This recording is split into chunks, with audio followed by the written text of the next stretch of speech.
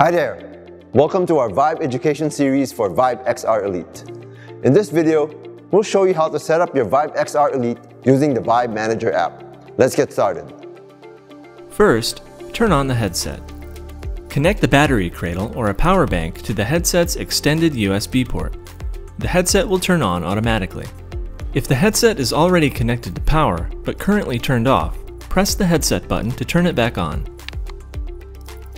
Next, download the Vive Manager app on your phone. You can find it on Google Play or in the App Store. Open Vive Manager and select Vive XR Elite. Select the accessories you want to use with the headset, such as VR controllers. Vive Manager will then walk you through the setup process. Tap Start to begin. Sign in with your HTC account. If you don't have an HTC account, create a new one. If you don't have Bluetooth turned on, Vive Manager will ask to turn it on. Vive Manager uses Bluetooth to communicate with your headset. Next, you'll need to pair your headset with Vive Manager and Vive Manager will start looking for your headset. When the front LED starts flashing white, press the headset button.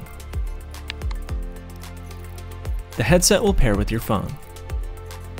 Tap Next, then follow the on-screen instructions to connect your headset to Wi-Fi and pair your controllers. If you're using Android, you can enable phone mirroring. Here's how. On the phone mirroring screen, tap Next and then grant the access permissions Vive Manager needs in order to use phone mirroring. First, grant access to the Accessibility service, which allows Vive Manager to enable Miracast on your phone.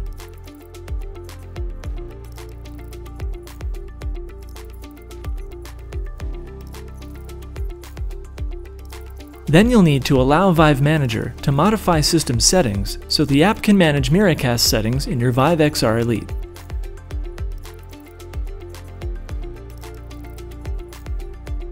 If you're new to VR, make sure to review all health and safety information before using your headset for the first time. If a system update is available, follow the on-screen instructions to install the update and restart the headset.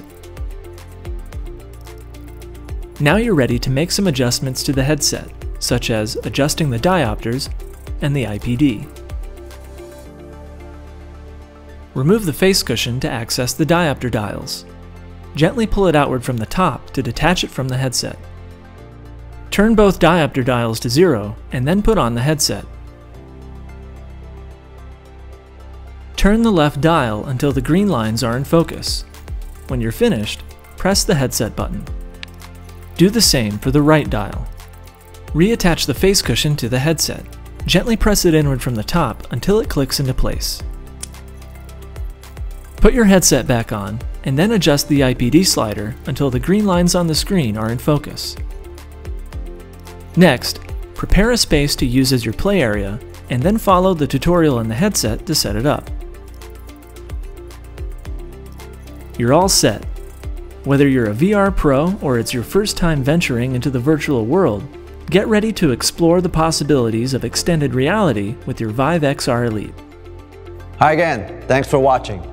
If you're interested in learning more about Vive XR Elite or other Vive products, make sure to check out the other videos in this channel.